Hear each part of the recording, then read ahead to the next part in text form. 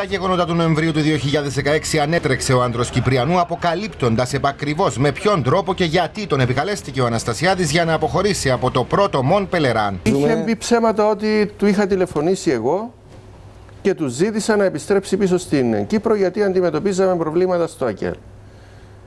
Λυπούμε που το λέω. Θεωρώ πολύ πιο έντιμο να έλεγε στον κύριο Νακιντζή, ξέρεις, θέλω να πάω πίσω να προβληματιστώ για αυτά τα ζητήματα και να επανέλθω για να συνεχίσουμε τη συζήτηση. Από το τηλεοπτικό πλάτο της εκπομπής Αλφα Ενημέρωση απεκάλυψε και την πρώτη αντίδραση του τουρκοκύπριου ηγέτη. Ο κύριος Ακιντζής είχε εκφράσει τη δυσφορία του στον του Μάζο Τσελεπίν που ήταν εκεί για το ότι έγινε ε, αυτό το πράγμα. Ο Τουμάζος ε, του είχε πει ότι αποκλείεται ο άντρος να τηλεφώνησε στον κύριο Αναστασιάδη και να του είπε κάτι τέτοιο. Την επομένη που είδα τον κύριο Αναστασιάδη μου είπε ναι, ε, αυτή, χρησιμοποίησα το όνομα σου γιατί ήθελα να έρθω πίσω. Ουδέν σχόλιο απαντούν κυβερνητικές πηγές που δηλώνουν στον Α έκπληξη για τον τρόπο και τη στιγμή που ο Γενικός Γραμματέας του ΑΚΕΛ επέλεξε να επαναφέρει το ζήτημα. Ο κύριος Κυπριανούς σερβίριξε ένα ζεσταμένο φαγητό. Ότι είχαμε να πούμε, το είπαμε τότε.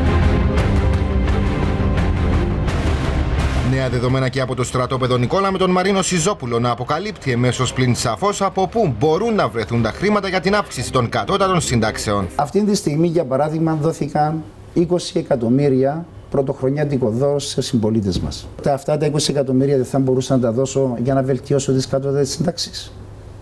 Μα πάλι πήγα σε άτομα που τα είχαν ανάγκη αυτό. Άρα λοιπόν αυτοί μπόρεσαν και τα έδωσαν. Εμείς δεν μπορούμε να τα δώσουμε και να είναι σταθερό ότι θα είναι για την αύξηση των κατώτατων συντάξεων για να φτάσουν σε ένα επίπεδο. Πριν τη λήψη τελικών αποφάσεων θα εξεταστούν τα οικονομικά δεδομένα, δηλώνει στον Α ο πρόεδρος της ΕΔΕΚ. Το χριστουγεννιάτικο δώρο σήμερα μπορεί να υπάρχει, αύριο μπορεί να μην υπάρχει.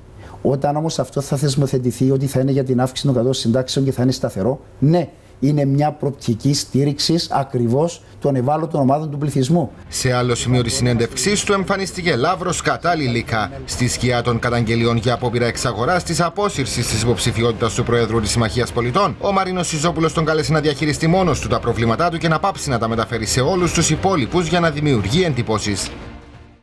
Ο Γιώργος Κασκάνης είναι τώρα μαζί μου. Καλησπέρα Γιώργο. Καλησπέρα. Είναι η κατάσταση στα άκρα πια 15 περίπου μέρες πριν από τις προεδρικές εκλογές. Αναμένουμε ότι αυτές τις δύο εβδομάδες θα πέσουν στο τραπέζι όλα τα χαρτιά, θα παίξουν τα ρέστα τους που λέμε όλα τα επιτελεία και θα πρέπει νομίζω να εντάξουμε και σε αυτό το πλαίσιο τη σημερινή αποκάλυψη του Γενικού Γραμματέα του ΑΚΕΛ.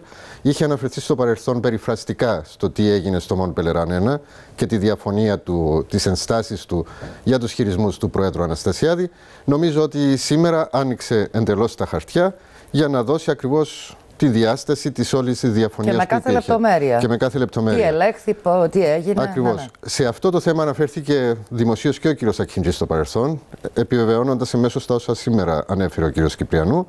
Ε, θα, να πούμε ότι ε, από την πλευρά του, όπως ελέγχθηκε στο ρεπορτάζ ε, προηγουμένως, ε, το Προεδρικό θεωρεί ότι είναι ένα ξαναζεσταμένο φαγητό, καθώς το όλο θέμα συζητήθηκε και στο Εθνικό Συμβούλιο, ενώ σύμφωνα με πληροφορίες μας συζητήθηκε και σε ε, ανταλλαγή επιστολών μεταξύ του Προέδρου και του Γενικού Γραμματέα του, Ινω- του, του ΑΚΕΛ. Συγκεκριμένα, ο κύριος Κυπριανού είχε αποστείλει στις 11 Μαΐου του 2017 επιστολή που κατα, κατέγραφε τις ενστάσεις του για τους χειρισμούς στο Μον Πελεράν 1 και απάντησε λίγες μέρες μετά ο πρόεδρος της Δημοκρατίας σημειώνοντας ότι ε, αποφάσισε να τηρήσει την υπόσχεση που έδωσε στους πολιτικούς αρχηγούς ότι πριν λάβει τις οποιασδήποτε αποφάσεις θα τους ενημέρωνε και θα διαβουλευόταν με την Ελλάδα και αυτός ήταν ο λόγος που διέκοψε το Μον Πελεράν Και αυτή 1. ήταν και η δημόσια τότε ε, τοποθέτηση, Ναι, η επίσημη, ακριβώς. Γιώργο. Και επέστρεψε. Να θυμίσουμε όμως ότι στην πραγματικότητα εκείνη τη συγκεκριμένη στιγμή υπήρχε μια σοβαρή διάσταση απόψεων μεταξύ Αθήνας και Λευκοσίας και αφορούσε το κατά πόσο θα καθοριζόταν ημερομηνία σύγκλησης της διεθνούς διάσκεψης που ήταν το αίτημα του Μουσταφά Κιντζή για να καταθέσει το ποσοστό εδάφους που κατέθεσε στο Μον Πολεράν 1. Η Αθήνα διαφωνούσε, δεν ήθελε καθορισμό ημερομηνίας αν δεν προηγηθούν ε, διαβουλεύσεις μεταξύ Ελλάδας και Τουρκίας. Αυτό ήταν το βασικό πρόβλημα, το οποίο βρήκε έναν τρόπο να επικαλεστεί ο πρόεδρος των Γενικό Γραμματέα του ΑΚΕΛ, σύμφωνα με τα όσα καταγγέλει ο κ. Κυπριανού, για να επιστρέψει και να έχει διαβουλεύσεις και με την Αθήνα κυρίως και με την πολιτική ηγεσία Και στην να Κύπρο. κερδίσει αυτό το χρόνο που χρειαζόταν για να. Ναι, παρά το γεγονός τη- ότι μέχρι είναι σήμερα συνισταμένη. τονίζεται Ναι. ότι ενδεχομένως να ήταν μια, εν- μια χαμένη ευκαιρία εκεί, διότι ήταν η στιγμή που κατέθεσε το 29,2% ο κ. Ακιντζή, 28,2% εμείς για το εδαφικό, δημιουργούνταν κάποιες προοπτικές. Εν πάση περιπτώσει, είναι ένα θέμα το οποίο συζητήθηκε πολλές φορές Ε, μέχρι τώρα. Θα επιστρέφω στην αρχική σου τοποθέτηση. Τα χαρτιά όλα τώρα θα, Θα πέσουν στο τραπέζι. Θα πέσουν στο τραπέζι μέχρι και την ημέρα της κάλπης. Σε ευχαριστώ. Καλό βράδυ. Μετά νιωμέ.